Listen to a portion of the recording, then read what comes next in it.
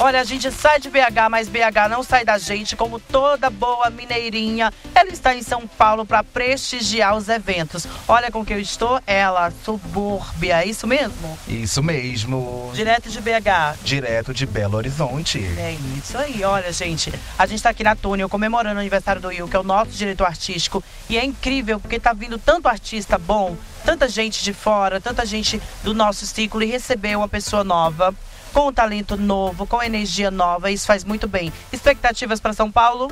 Várias, várias. Só esperando chegar o momento. E na hora que chegar, amiga. Ela vai, ela vai dar o nome porque ela é mineira e a gente sabe que a gente pode esperar muito. A gente é... quieto e come gostoso, hein? Olha, come quieto e ainda come gostoso. Vocês podem esperar muita coisa.